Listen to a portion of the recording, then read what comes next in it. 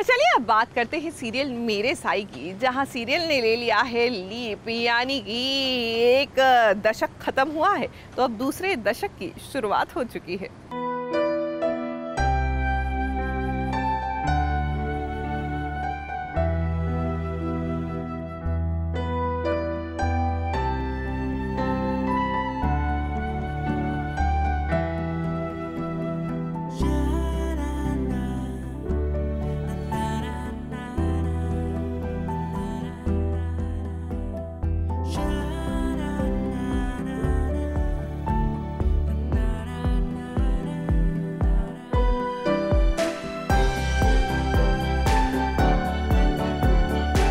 साई बाबा की हो रही है विदाई।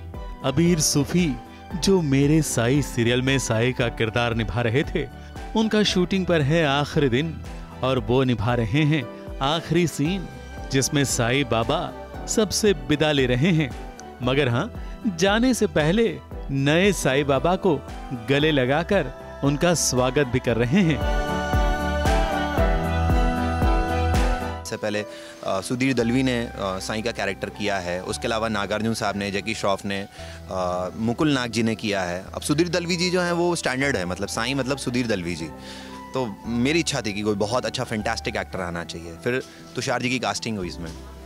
मुझे पता चला तुषार दलवी तो मैंने उनको बोला, आधा काम आपका ऐसे ही हो गया है, क्योंकि आप दलवी हैं।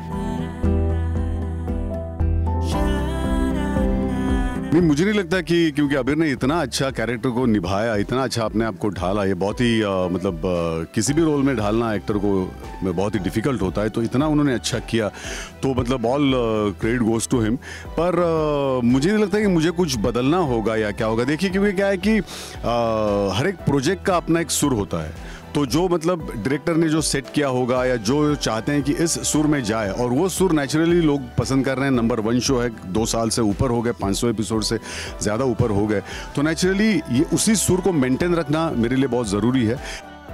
साई बाबा एक यात्रा पर निकले हैं, जिसमें शिरडी के लोग साई भजन के साथ साई को विदा कर रहे हैं। मगर ऐसा नहीं है कि साई हमेशा के लिए विदा हो रहे हैं। साई यात्रा पर जा रहे हैं और लौटेंगे बुज़ुर्ग बनकर। और ये बुज़ुर्ग वाला किरदार निभाएँगे तुषार दलवी। सच्चाई ये है कि बहुत ही जूनियर एक्टर उनके सामने उन्होंने बहुत आगे काम किया है। हो सकता है इनकी उम्र तक आते आते मेरे अंदर भी ये संजीदगी आ जाए, लेकिन अभी मैं बहुत शैतान हूँ रियल लाइफ में और मुझे जो मन में आता है, मैं कुछ भी नहीं सोचता हूँ कि ये कहना चाहिए, नहीं कहना चाहिए। डिप्लोमेटिकली मुझे कोई चीज़ हैंडल करनी नहीं आती है। और इसीलिए मैं बहुत ही मतलब आउटस्पोकन हूँ, बहुत एक्सट्रोवर्ट हूँ। और साईं का कैरेक्टर अभी जो है जैसे मैं करता था तो मुझे लगता था कि नहीं नहीं यहाँ पर ऐसा होल्ड होना चाहिए यहाँ पर ऐसा करना चाहिए। तुषार भाई रियल लाइफ में भी वैसे हैं। अबीर सूफी ने ढाई साल तक ये किरदार निभाया है और अब साई का वयोवृद्ध किरदार तुषार दलवी निभाएँगे। दर्शकों के लिए ये जितना अटपटा है कलाकारों के लिए ये किसी चुनौती से कम नहीं है। फेयरवेल और वेलकम पार्टी की जो हमने बात करी थी तो हमेशा ये होता है कि जो जूनियर्स होते हैं वो आ रहे होते हैं। उनका वेलकम पार्टी होता है। सीनियर्स हमेशा जा रहे होते हैं डिपार्टेड तो उनका फेयरवेल होता है। यहाँ पर थोड़ा उल्टा हुआ है। यहाँ पर तुषार भाई आ रहे हैं ठीक है। इनका वेलकम पार्टी और मेरा फेयरवेल है। बट हमसे बहुत आगे जो साई है उन्होंने हमें रिस्पॉन्सिबिलिटी दी है। So it's a torch kind of race relay race खेलते हैं नाम की देते एक को दूसरे को तीसरे को ऐसे पास करते हुए जाते हैं। तो मेरी आप लोगों से गुजारिश है आपने जैसे मुझे बहुत प्यार दिया बहुत सम्मान दिया बहुत लगाव दिया कैरेक्टर को बहुत प्यार किया तो आप लोग प्लीज़ शो देखिए और अ, मतलब मेरा अपना पर्सनल बिलीव है ऐसा। कि तुषार भाई बहुत अच्छा करेंगे, पूरा जस्टिफाई करेंगे चीज़ों को। और ऑब्वियसली अगर मैं कह रहा हूँ कि वो सीनियर एक्टर हैं तो आप लोग बिल्कुल ऐसा मत सोचिए कि अबीर ने छोड़ दिया, क्या? कुछ नहीं है। दिस इज़ लाइफ साई हम दोनों से ही बहुत ऊपर हैं। तो अब बदले हुए साई के साथ साथ सीरियल में और क्या क्या बदलाव आते हैं, ये सीरियल देखने वालों को एहसास हो ही जाएगा। मुंबई से राज दीक्षित की रिपोर्ट।